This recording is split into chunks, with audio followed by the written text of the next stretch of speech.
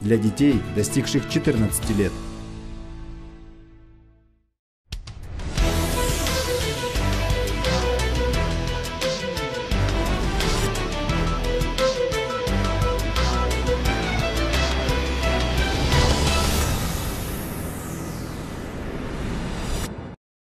Здравствуйте, в эфире программа «Регион 10» и я ее ведущий Кайрат Мукатов.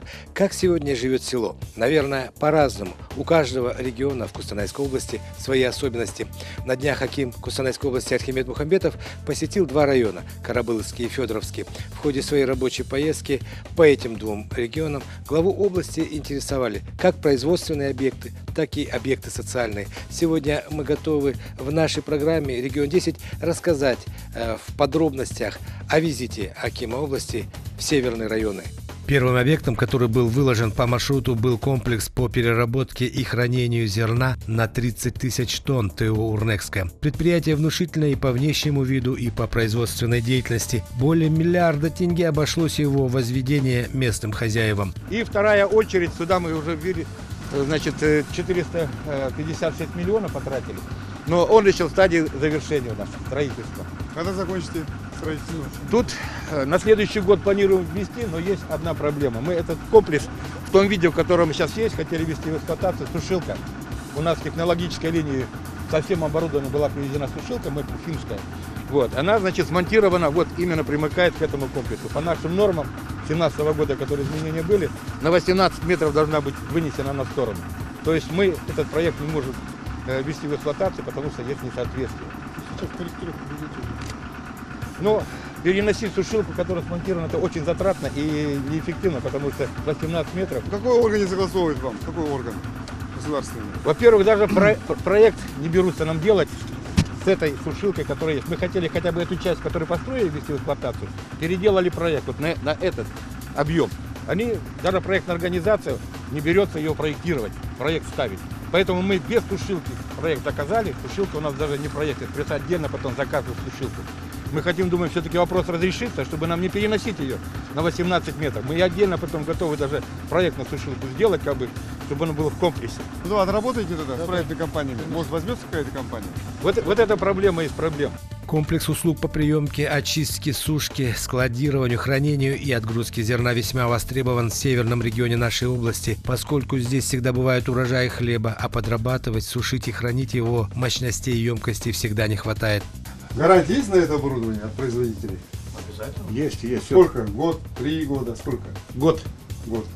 Год гарантии на все оборудование, которое здесь у нас Если поставлено. что-то там выйдет из строя, то готовы приехать восстановить, да? Нет? Ну, пок- пока, пока такого не было. Нет, если вдруг выйдет, я же специально задаю вопрос. Внушительным оказался и рынок сбыта продукции у данного предприятия. Республика Казахстан, Польша, Латвия, Бельгия, Германия, Китай.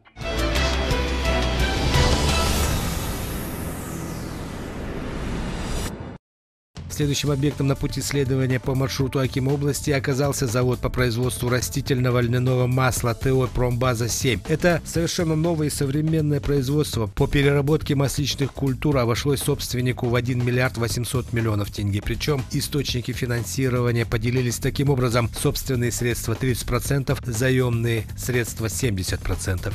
Шрот уже отправляет на комбикормовые заводы. Гранулированный он идет весь. Кто покупает Вся его? в Россию уходит. В России, В да? Россию, а льняной жмых уходит э, в Европу. Сколько э, продали тонн? Э, Где-то тысячи две, наверное, две, две с половиной тысячи. Полуфикс. Цена какая? Цена За тонну. 80 тысяч тенге. СДС. Как пшеница стоит?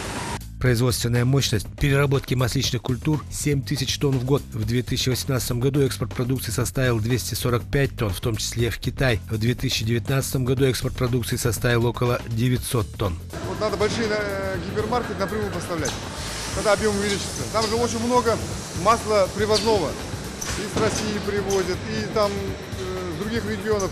Надо местные продвигать надо будет. Местные. В этом году ТО «Промбаза-7» реализует проект полного цикла по производству растительного масла. Особенность проекта состоит в том, что завод находится в сельской местности. Тем самым используется принцип локации переработки собственной сырьевой базой.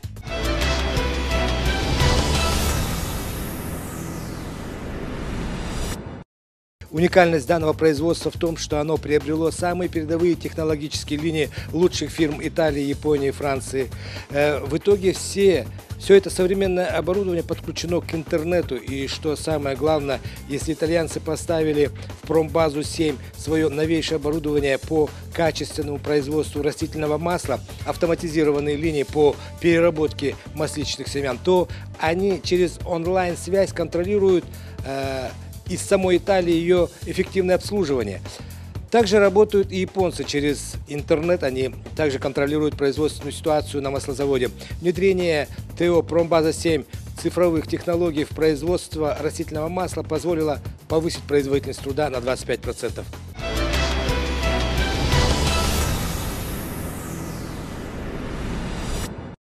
Медицинская помощь на территории Федоровского района оказывают 39 учреждений здравоохранения, в том числе одна центральная районная больница, две врачебные амбулатории, 8 фельдшерско-акушерских пунктов и 28 медицинских пунктов. Количество прикрепленного населения 23 тысячи человек. И вот на днях в районе произошло радостное событие.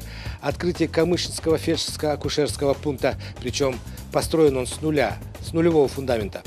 В Федоровском районе Кустанайской области открылся новый объект здравоохранения – Камышинский фельдшерско-акушерский пункт. В селе Чанда, где построен с нуля данный ФАП, давно нуждался в медицинской помощи. Здесь проживает свыше полутора тысяч человек. Камышинский фельдшерско-акушерский пункт намерен обслуживать жителей близлежащих сел, а это ни много ни мало еще более тысячи сельских тружеников. Отрадно, что на жизненно важную потребность сельчан в новом объекте здравоохранения живо откликнулись руководители товариществ и крестьянских хозяйств, что находятся в сельских округах данной местности, они пошли на взаимовыгодное сотрудничество с местной властью в виде государственно-частного партнерства. Только одно ТО «Турар» для нового фельдшерско-акушерского пункта выделило более 63 миллионов тенге. Вот эта программа государственно-частного партнерства очень понравилась, будем говорить, так как э, понятно, мы сегодня вкладываем деньги, вложили свои деньги, построили вот сегодня фельдшерско-акушерский пункт. И государство, государство в течение трех лет, оно как бы возвращает нам эти деньги. Но когда нам возвращают эти деньги, мы, соответственно, тоже уплатим налоги. Но я думаю, в любом случае, понятно, какую-то определенную сумму налогов мы оплатим. Но в любом случае, я думаю, что выигрыши только все. Фельдшерско-акушерский пункт готов оказывать доврачебную, первично-медико-санитарную помощь. Новость обрадовала не только население Чистого Чендака, потому что в фельдшерско-акушерский пункт за помощью смогут обращаться жители близлежащих сел Северная, Алабутала, Мирная. Я думаю, что не только я рада, рады все жители, и особенно пенсионеры, вот, которым уже нелегко ездить, допустим, в райцентр. А здесь мы теперь можем пройти частичное обследование, и, и при том в таком хорошем здании. Весь поселок ждал это знаменательное открытие. Мы очень рады этой больнице. Здесь такие кабинеты, мы уже проходили, смотрели. Когда она открывалась, люди просто от себя шли, помогали убирать здесь, мыли очень рады, мы очень рады этому открытию. На 250 метрах новый ФАП разместил дневной стационар на 4 койки. Есть здесь кабинеты для интенсивной терапии новорожденных, система ультразвуковой диагностики. Впечатлений, конечно, очень много. У нас очень тепло, уютно, комфортно, коммуникабельно. Здесь мы можем принять экстренную помощь, можем доврачебную кабинет, проверить, посмотреть беременных женщин, детей до года, провести профилактический осмотр, вакцинацию.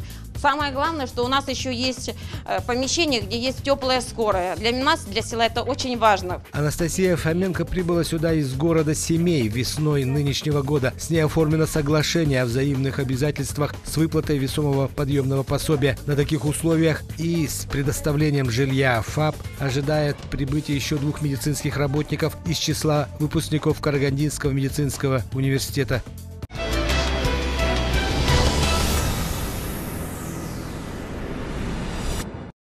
Социальные объекты на селе играют важную роль в наполнении полноценной жизнью сельских тружеников. Аким области всегда в своих рабочих поездках уделяет этой стороне особое внимание. Не стал исключением и визит в два северных региона области. В Карабалыкской центральной районной больнице за период с 2016 года по настоящее время в рамках текущего ремонта были проведены работы на общую сумму 7 миллионов тенге. В 2019 году произведена замена системы отопления. выделили 135 миллионов тенге мы 90 врачам именно для сельской местности, как раз в Карабыльской районе. Да, все пятеро получили. Город мы выделили, это подъемный говорю, выделили 135 миллионов тенге. В город мы выделили спонсорских где-то 100 миллионов тенге просто на. Сейчас квартиры по линии КИК через казахстанскую ипотечную компанию. В этом году мы э, где-то 50 квартир где-то выдадим, а на следующий год выдадим почти по 200 квартир. То есть в этом году, если где-то мы привлечем по 300, следующий год тоже будет где-то по 300, мы практически уже решим все остальные вопросы. Поэтому вот эти пять специалистов, которые не хватает, пять или сколько, шесть? Четыре. Четыре не хватает? Да. Четыре получается. Основных таких острых. Да, тогда вот по ним надо будет работать. Да, да. Вот пятерым, которые прибыли, вы жилье предоставили? Предоставили. Да, потому что они долго не продержатся, если без жилья. Это вот задача Акимов э, районов решить в первую очередь, в первую очередь, жилищный вопрос.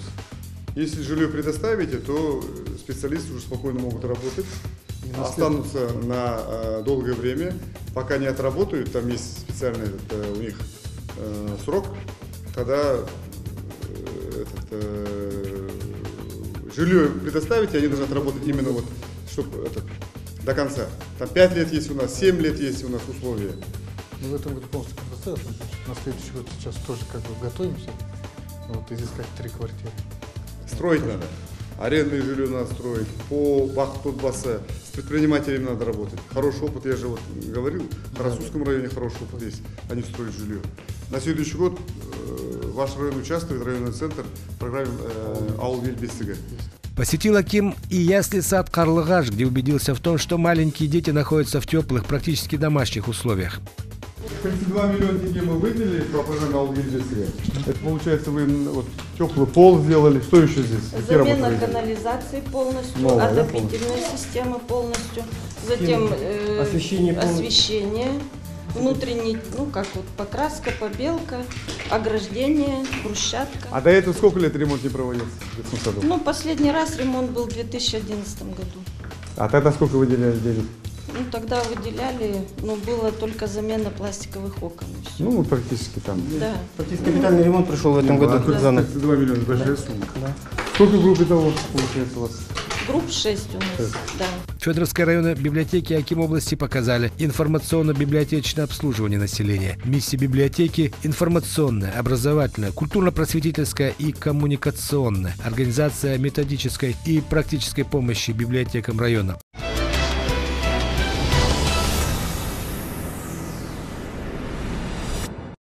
В обеих районах области Аким Архимед Мухамбетов провел встречи с жителями в рамках общественной работы партии «Нуратан». Люди шли навстречу с разными заботами и проблемами. Мне бы хотелось услышать от вас, будет ли у нас в селе газ?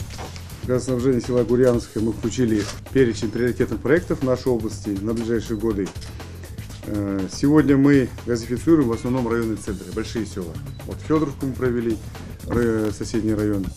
Э, газификацию уже третью очередь завершаем. Э, сейчас идет э, газификация Уликольского района, села Уликоль.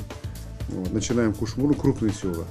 После завершения работ крупных селах мы перейдем в села с наименьшим где населением.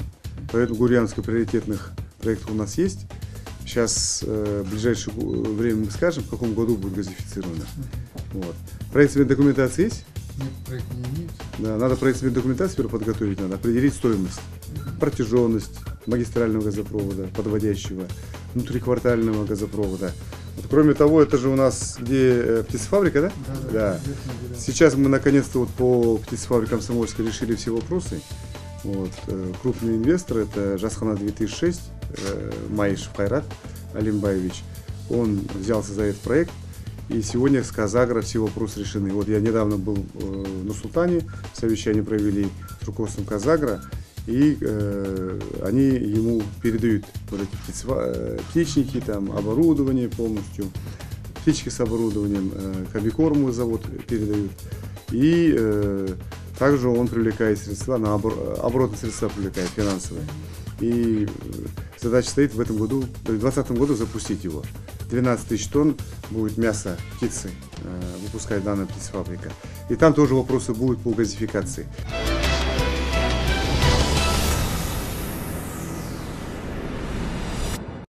В конце рабочей поездки Архимед Мухамбетов провел прием граждан в районном филиале партии «Нуротан». Большая часть вопросов местных жителей коснулась проблем ЖКХ. Аким области внимательно выслушал каждое обращение и дал соответствующие поручения ответственным лицам. По итогам поездки Архимед Мухамбетов поручил руководству района проводить работу по улучшению качества жизни сельчан.